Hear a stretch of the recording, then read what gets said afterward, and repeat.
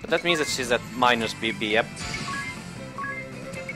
And I can take this time to cure all my guys.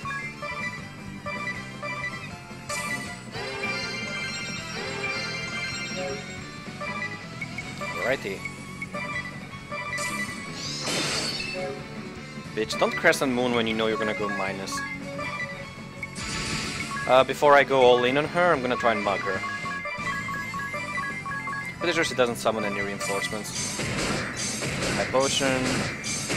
Power bracers, nice.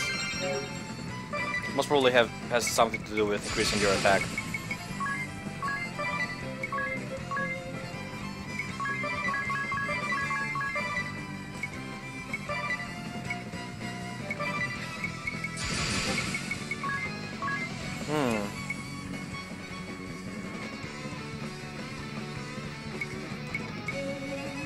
Right, better have physical top all, uh, up all for all my allies.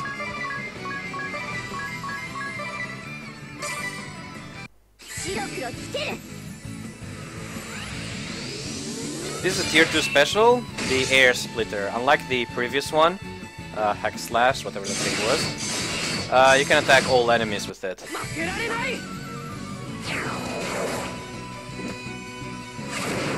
And Tiz inherited the uh, physical attack up from Edea. If I'm not mistaken here, yeah, they've gone to 150%, which is the maximum they can have.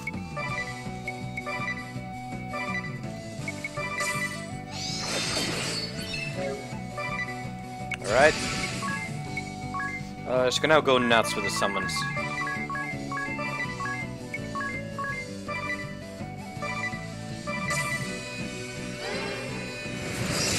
Oh, let's see the how the summon looks like.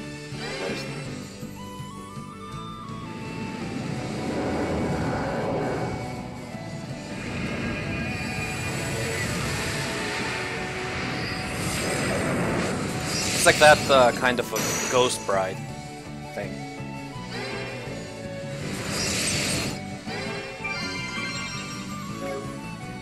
And she still has uh, a lot of MP to spare.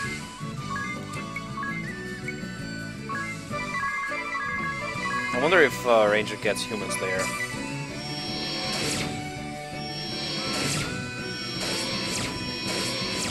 And she's down.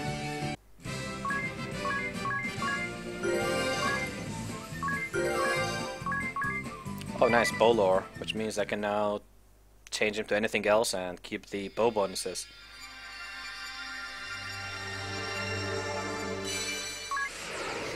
And now we finally get the Valkyrie asterisk.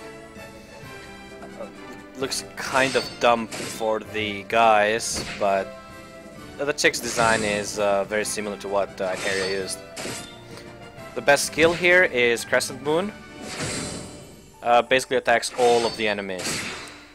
Uh, the kinds of combos you can do with that and its uh, usefulness, I'm gonna explain it later on.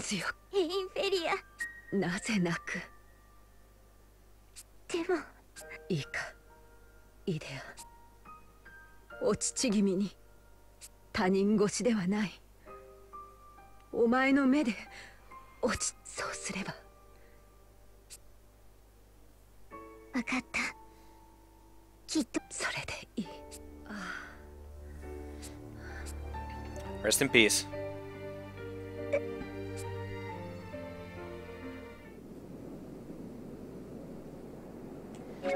Okay, um, let's take this opportunity to change some jobs around. Uh, oh, she's almost level 9 Spell Fencer. Hmm, kind of a hard choice here. I'm gonna let her go to level 9 Spell Fencer, then I'm gonna change her to Valkyrie. Our dear Tiz is still gonna go down the road of Monk. However, uh, once I get Pirate, that's when uh, Tiz is gonna shine.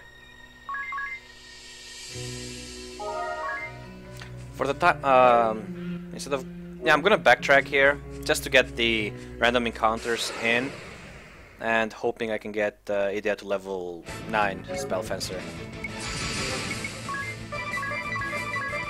Now I have to once again reset all of the brave and attack things. Otherwise my uh, auto will go back to what I did last time when I fought uh, Einheria.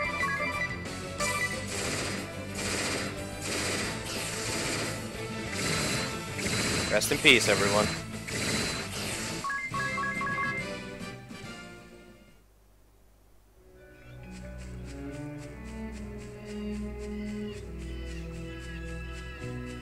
Actually, uh... Yeah, no, no, no. I'm just gonna backtrack a bit. That extra job point is really, really useful. Especially when uh, when, you, when you change jobs for the first time, uh, their status modifiers are a bit low. And they start increasing as you level with them. So the moment you go to a level 1 job, you're gonna be uh, weaker it's usually not suggested to change your entire party into level 1 jobs all at once. Otherwise you lose precious uh, damage output. Especially when it comes to random encounters. Now some of the random encounters later on are powerful to the point that they will wipe you. Given the chance. There's gonna be monsters that uh, use combos such as sleep, and then use a skill which kills everything that's sleep. It's really, really brutal. Or monsters that start spamming slow, uh, monsters that start spamming stuff like uh, fear and charm, which basically just turns your party against you. Especially bad because uh, later on uh, characters with low speed, like Edea, are gonna have uh, trouble fighting those guys properly.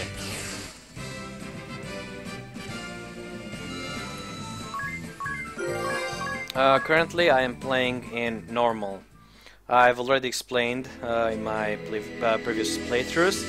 The reason why I started out normal first is so that I can get a full gaming experience recorded then upload it over to YouTube so that people can see it.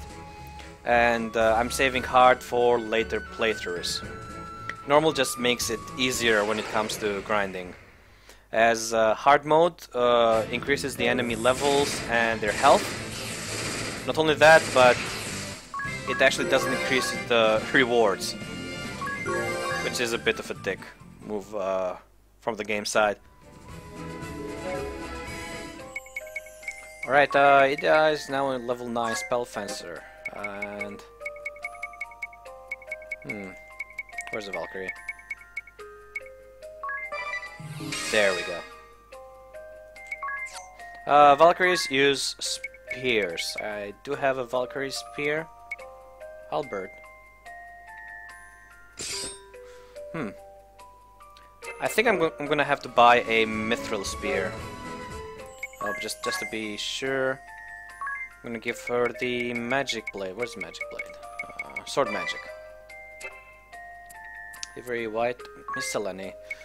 I'm kind of sorry about this guy that only has miscellany available. I think I'm gonna give him uh, acrobatics just so that he can use crescent moon. Now I'm gonna show you something amazing with the crescent moon. Basically, once you get crescent moon, you, you, you want to have it on all your main attacking characters let me get to a normal encounter here. Now what do you want to do with Crescent Moon... Oh, damn it, I went to automatic. Alright, uh, let's try this again.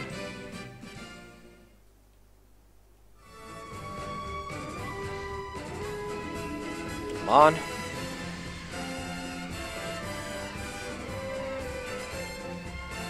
Come on, game. Give me an encounter.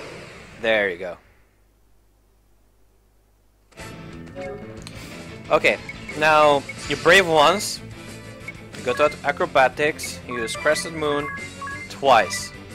That's the standard move for all the characters that are gonna have uh, Crescent Moon available.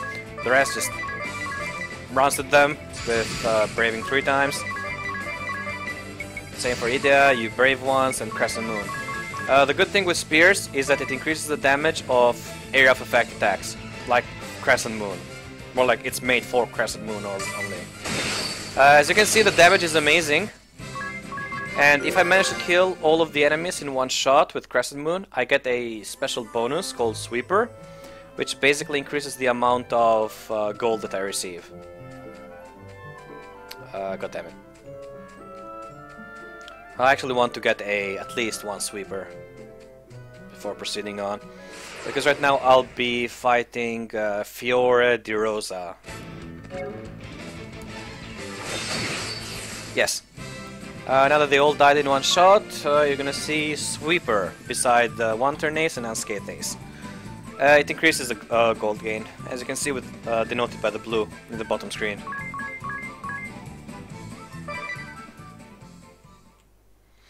Alright, one more level. Her job level? Hmm. Nah, she's gonna be fine, I think. Should I... I I'm gonna increase her Valkyrie level by one just to be sure. Because the next boss fight's gonna be a bit hard.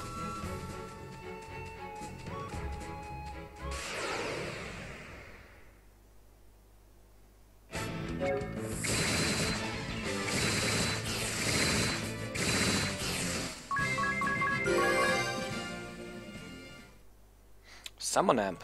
I think it amplifies someone's damage. If I'm not mistaken. Rise MP cost and power of summoning magic. Hmm.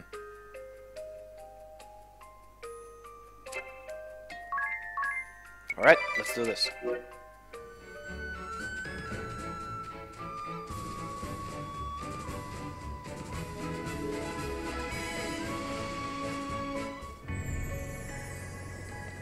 Alright, let's hope I don't increase the um, difficulty encounter rate. This encounter rate thing is really amazing.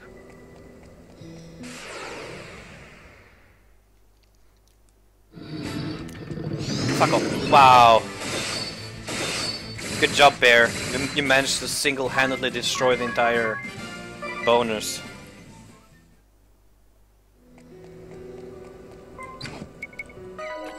Updates from the village. Oh, special move parts available.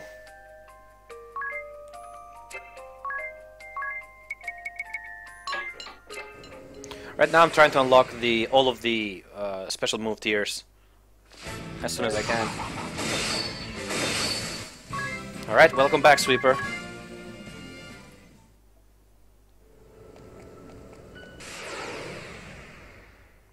I'm more interested in the frogs. Not you, bear. It's a bummer when you only see single enemies, because the moment you find a single enemy, uh, your sweeper bonus is automatically lost. Because you cannot achieve sweeper if there's only one enemy. Oh, hey there. Chompers. And... Spear lore. Well, since I'm here, let's go until Edea learns Judgment. Oh wow. Uh, even if one enemy dies before the others, it will still break Sweeper. As you can see with normal and skate I get up to 61 job points by killing these guys. So for those of you that want to farm, this is the farming place.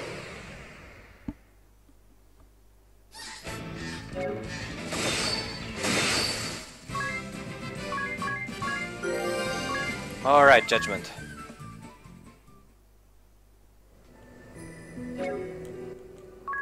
I can't stress enough how good this place is for is for farming, especially if you have uh, Crescent Sweep available.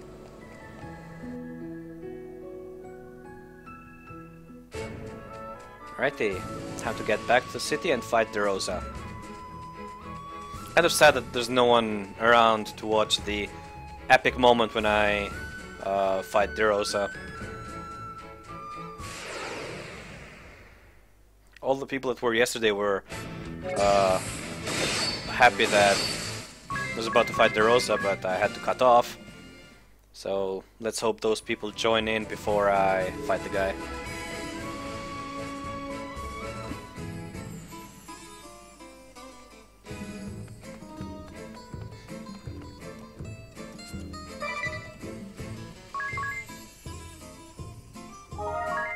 In order to fight the Rose, I have to come back here at night. So for now, I'm gonna rest up. And I'm gonna check if there's uh, any better spears around.